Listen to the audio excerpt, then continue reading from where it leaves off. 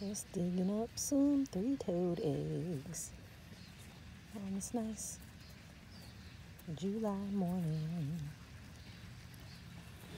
Hey, sweetheart. Yep, here they come. Here they come. Alright, I'm gonna start digging these up and then let's see what we got. Four eggs and a peanut. Thanks, sweetheart. These are beautiful eggs. Size of them. Alright, let me go get the incubator ready. We'll leave the peanut for the squirrels though.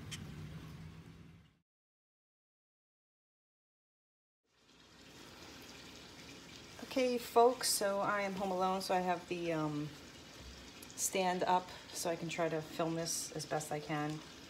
I have some vermiculite in a container, and I pop some holes around the top of the, the container. And I have my four three-toed eggs that I just dug up. These were laid late last night, and um, just kind of monitored where where they were, and went out this morning, and sure enough, dug up four eggs. So I'm just gonna wipe these off, to just get the dirt off of them.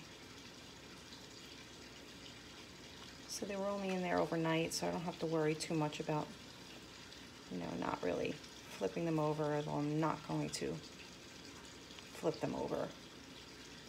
But these are nice size eggs, really, really nice. So I'm gonna put them in the vermiculite. Clean the next one. We have a nice mix. We have really great soil out there. I mean, the soil out there is so amazing. We get so many weeds and and uh, worms, bugs of all kinds out there. It's a nice soft soil, and we added a lot of sand to it as well. So they got some really good digging areas. And um, it's funny, this is one of the three toads that, oh, she seemed kind of young to me. I didn't think she could lay such, oof, these are nice size eggs. Who knows she had it in her. But um, yeah, we just don't know. We don't have them long enough to know, you know, their patterns or really their age or anything. But,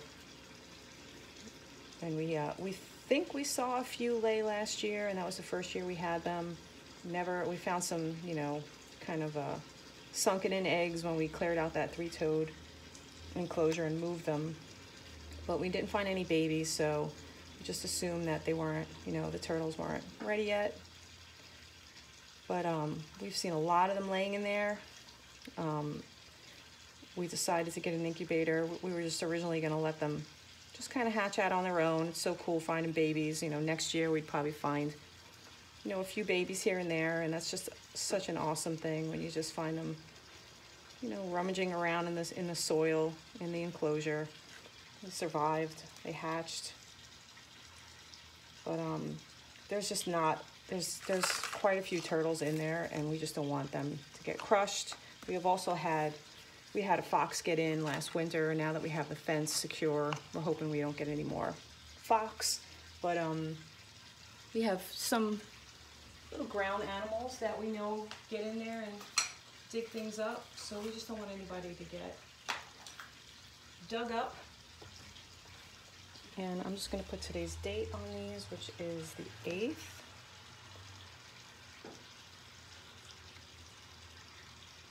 with a pencil very lightly so we can track these things.